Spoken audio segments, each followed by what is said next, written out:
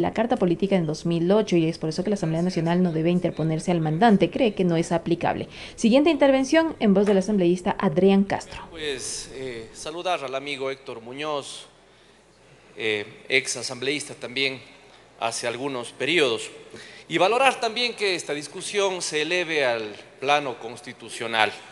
Yo creo que efectivamente, y doy la razón, este no es un tema para nada populista, es un tema del cual este rato toda la comunidad jurídica y de tratadistas del derecho seguramente lo está mirando. Y por ello esta Asamblea no puede legislar en función del agrado o no de un momento político o de un régimen o para quien sea. Por eso reitero nuevamente que no es populista. Es un tema de trascendental importancia que, como ustedes conocen, en todo régimen constitucional y en todo Estado de Derecho, requiere lo que se conoce en la ciencia política, como efectivamente se leyó en el informe, de aquello que se conoce como el checks and balance, los balances, los pesos y contrapesos. Si es que nosotros no abordamos bien este tema, podemos caer lamentablemente en lo que en otros países se ha dado como un régimen hiperparlamentario. Y aquí no hay que estar de acuerdo ni con un régimen hiperpresidencialista ni con un régimen hiperparlamentario lo que estamos discutiendo y lo que se ha traído a esta discusión acabaría con una figura muy importante como la del colegislador. Quiero recordarles a todos los colegas que la figura del colegislador y sobre todo del voto de la mayoría calificada para el caso de la ratificación de un proyecto de ley fue trabajada precisamente en la Constitución de Montecristi del año 2008. Y vayan ustedes a ver quiénes fueron los asesores en el 2008 cuando se hizo la Constitución de Montecristi. Por supuesto que como ninguna otra norma es perfectible y como dijo mi colega Sofía Sánchez un momento, esta Asamblea tiene toda la atribución para desarrollar enmiendas constitucionales.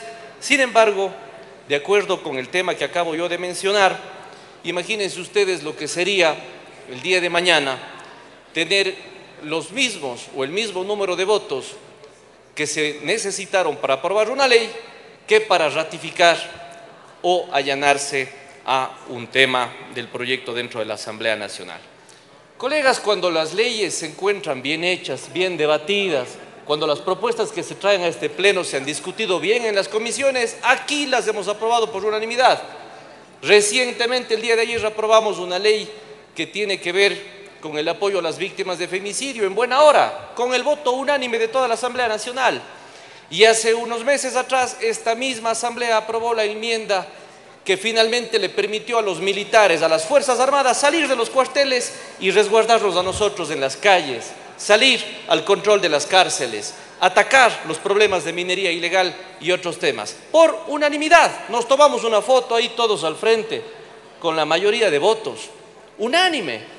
Así es cuando se trabajan las leyes. ¿Por qué tener miedo de los pesos y contrapesos? El checks and balance es una figura que se discute en la ciencia política a un nivel mayor y por eso debemos elevar sin duda el debate. Pero más allá de eso, yo lamento mucho los tiempos porque las comisiones debemos priorizar los temas. Cuando arrancamos el año, el Pleno de la Asamblea prioriza los temas. ¿Y qué se decidió aquí? Que íbamos a abordar temas de seguridad y reactivación económica. Eso fue lo que se decidió acá en la Asamblea Nacional. Y cada una de las comisiones hicimos el mismo ejercicio simplificadamente. En nuestra comisión de garantías constitucionales resolvimos tocar las garantías, la reforma a la ley de garantías jurisdiccionales, la ley que tiene que ver, que aprobamos el día de ayer, que tiene que ver con el apoyo y la contención, el acompañamiento a las víctimas del femicidio, la ley de discapacidades, la ley de los adultos mayores y por supuesto todo lo que tiene que ver con las prioridades del país. Yo lamento mucho porque acabamos de aprobar hace escasos días, hace escasas semanas, una consulta popular. Traer esta enmienda en este momento, en este momento, en donde acabamos de salir de una consulta, porque el artículo 442 de la Constitución es clarísimo. Una vez que acá se aprueba una enmienda, tenemos que volver en 45 días a las urnas. ¿Por qué no se aprobó antes? Pero justo este momento tenemos que traer un tema tan delicado como este y que merece elevar el debate. Les hago aquí una reflexión finalmente, colegas.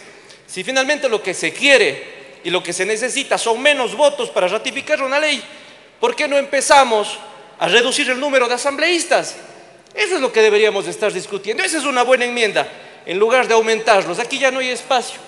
Ya el otro año vienen 13 asambleístas más, cuando el país lo que pide, y discúlpeme que sea así porque hay que hacer autocrítica, pero la Asamblea Nacional no ha dado muestras, lamentablemente, en los últimos años de que ha puesto las cosas como se deben y ha, respondido a las verdaderas necesidades del país.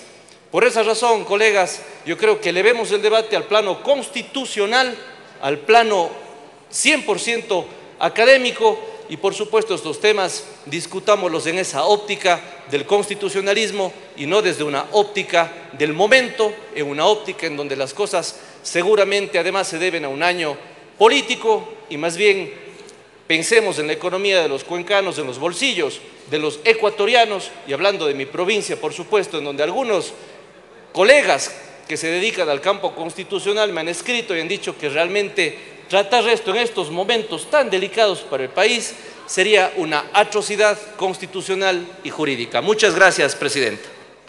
Tiene la palabra el asambleísta.